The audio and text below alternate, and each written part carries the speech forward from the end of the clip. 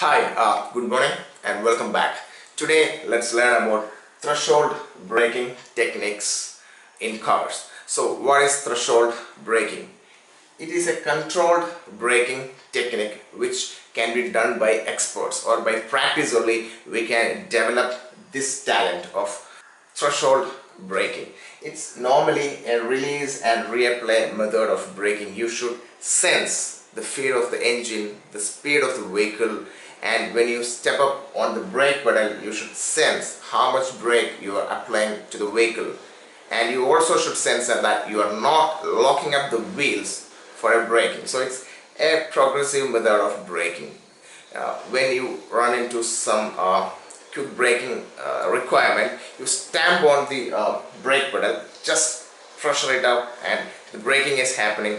Oh, the wheels are getting locked up. So that's not what uh, threshold braking is all about. It's about progressively uh, putting your brake pedal so that you can sense the feel of the brake. It's a release and reapply braking method.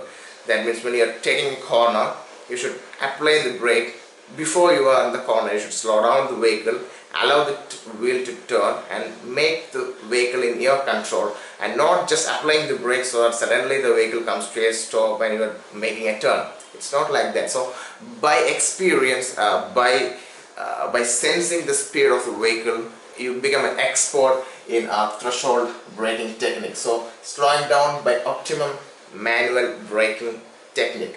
Uh, you have to sense the braking happening. You have to sense how much of braking is happening on your wheels while you're applying the brake pedal. Uh, and also you should sense the lockup. You should avoid the lockup of the wheels. That means stop rotating. The wheels should be rotating but you should be controlling the speed of the rotation of the wheels and gradually making the vehicle to a stop or gradually controlling the vehicle for a particular requirement, for a stopping or a braking requirement. Ultimately, it is a technique of braking without locking up the wheels as I have mentioned here. So that's ultimately what threshold braking is all about. You have to release and reapply the brake and learn this technique. So when next time you're driving, make sure that you sense the engine speed, you sense the sound of the engine when you on a brake pedal, sense how much braking is happening. Get the feedback from the tires, how it is slowing down. Are you uh, locking up the wheels exactly?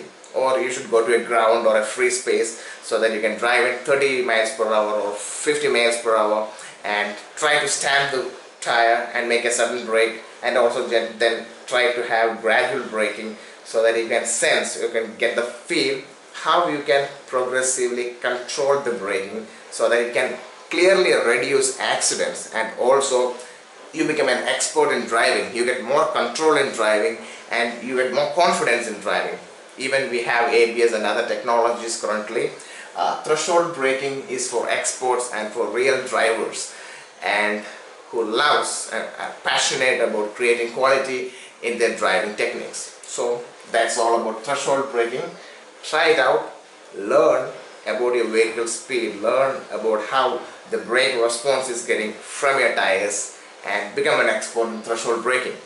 Best of luck. If you like this video, please click the like button or do drop a comment. You can subscribe to us for more technical videos. Have a great day.